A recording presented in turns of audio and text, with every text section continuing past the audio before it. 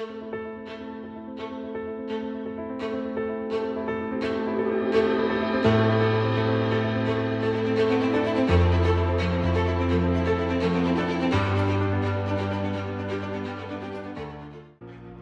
troviamo a Martignacco, in provincia di Udine, nel Friuli Venezia Giulia. Nella memoria collettiva, nell'immaginario popolare, quella che andremo oggi a narrare è la storia di un formidabile principe sostituito nella figura da un pio pastore dal martire in età senile e dal traumaturgo utile a consolidare l'incerto potere del nuovo patriarca che a lui succedette. Noi seguiremo il percorso che vi sto indicando in questo momento e eh, farete affidamento alle indicazioni a video della mia mano per orientarvi nel percorso mostrato più avanti. Si tratta di un percorso molto vivibile, eh, si può tranquillamente lasciare libero il proprio animale senza guinzaglio, eh, si può percorrere correndo, in bicicletta o con l'intera famiglia, bambini piccoli compresi. In alcuni tratti vi è un corso d'acqua laterale, in altri tratti, come vedrete dalle immagini, coltivazioni all'aperto che regalano meravigliosi scorci.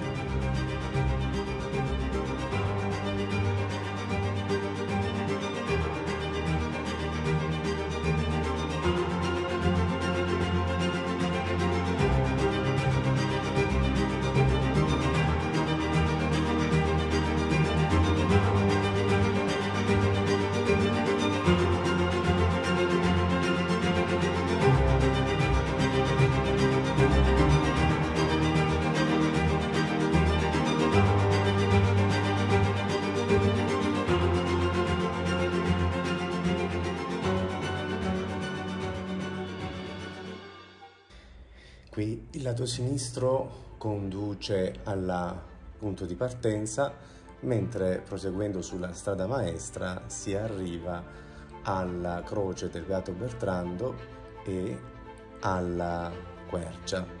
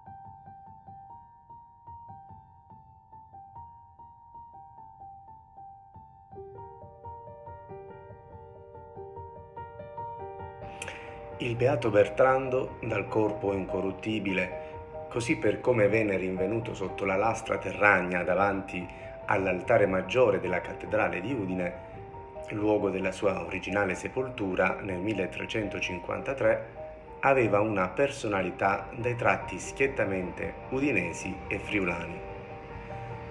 Egli fu certamente celebre anche per aver introdotto un metodo nuovo per governare, più moderno, più democratico e meno incentrato sul potere principesco. Fu un pastore buono, sovente costretto a organizzare spedizioni militari contro nemici per recuperare e conservare i diritti della sua Chiesa. Si narra addirittura che durante una settimana santa, essendo non poco lontano dalla sua chiesa cattedrale, cavalcò per tutta la notte con addosso l'armatura disprezzando la minaccia del nemico e le intemperie. pur di giungere in tempo il giovedì santo, in cena domini, ad Aquileia e preparare così il santo crisma. Morì assassinato lungo il percorso che stiamo facendo esattamente nel punto che vi ho indicato poco fa con la croce. E da quel momento iniziò tutta una serie di miracoli a lui riconducibili che lo resero beato.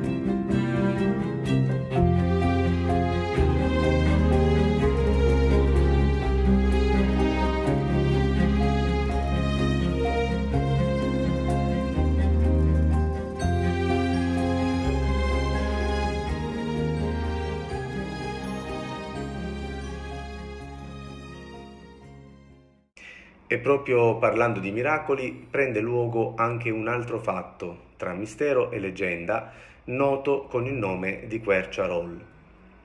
Un albero secolare sopravvissuto a eventi storici epocali, quali il terremoto del 1976 e le incursioni naziste della Seconda Guerra Mondiale.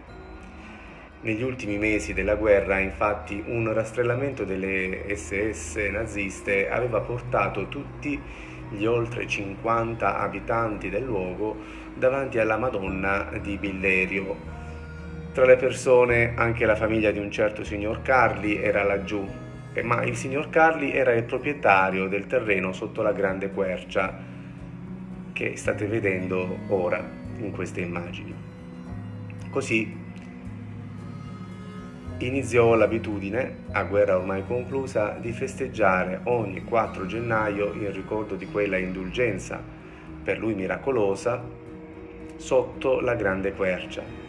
E sicuramente anche la vecchia quercia è sempre stata grata, dopo tutto, al vecchio, per essere stata eletta a memoria vivente di eventi così particolari e pur non crescendo molto, piantata lì tra le rocce sporgenti del pendio, è rimasta bella per ogni occasione. Le due storie si intrecciano, accomunate non solo dal luogo in cui si trovano, ma anche per il senso che si attribuisce al concetto di miracolo.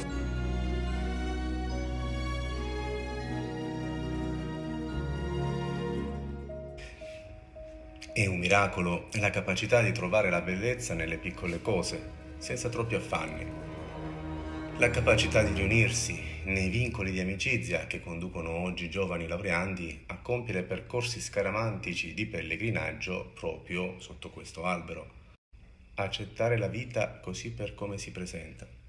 E questo forse il più grande segreto lasciatoci del beato Beltrando che da condottiero sognava forse un mondo migliore.